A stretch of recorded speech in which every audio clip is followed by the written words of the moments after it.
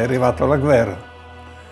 E noi siamo, io e la mia famiglia siamo andati su a San Marino, insieme a altre, abitavamo qua giù a un ghetto, insieme a un contadino col biroccio, abbiamo caricato da quello che si poteva e siamo andati su a San Marino.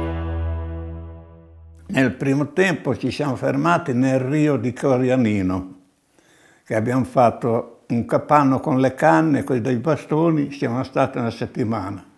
Poi siamo partiti, siamo andati su nella galleria di Santa Maria Maddalena, mi sembra che si chiama, e lì mio povero babbo non riusciva a starci, non poteva respirare e dopo siamo andati al borgo di San Marino e poi dopo di lì aveva cominciato già a arrivare qualche granata, siamo andati su sotto le oggi del comune e siamo rimasti lì.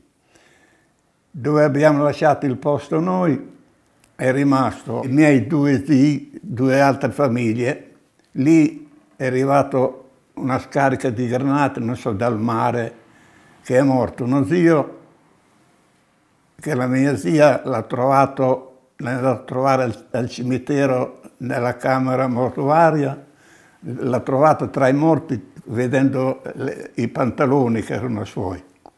E l'altro zio ha, ha avuto 42 schegge.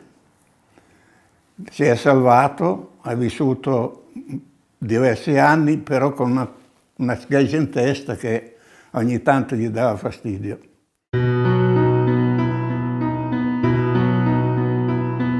Nelle gallerie eravamo pieni. A dormire non avevo il materasso, io non avevamo noi il materasso niente.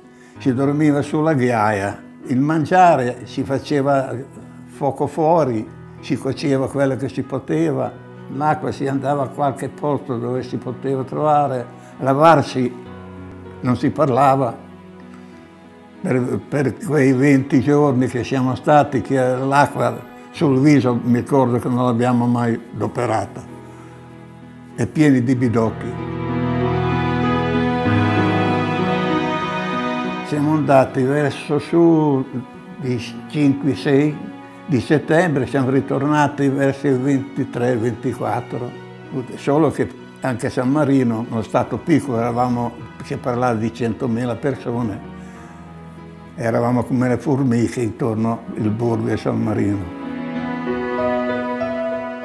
Mio povero babbo aveva nascosto tutto, gli indumenti nostri, il grano. Siamo ritornati a casa e abbiamo trovato tutto dove aveva seppellito.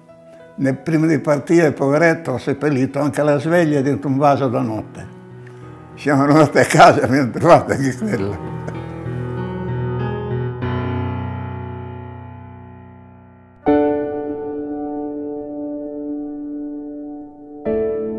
Allora c'era anche un po' paura perché nel, nel ritornare a San Marino abbiamo sempre cercato di camminare sulle strade, non in campagna, perché sapevamo che c'era in giro queste mine.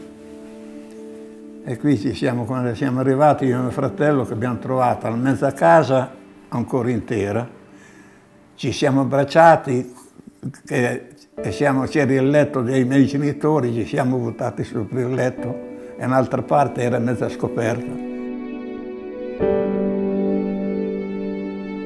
allora succede che io nel campo dove avevamo già lavorato facevo un fosso, uno che smenava il, il campo, aveva piovuto, queste cassette di legno si erano gonfiate, non la poteva aprire. Lui l'ha sbattuto su un olivo, l'olivo è andato in aria e lui è andato in frontume come un bicchiere a buttarlo per terra, la persona.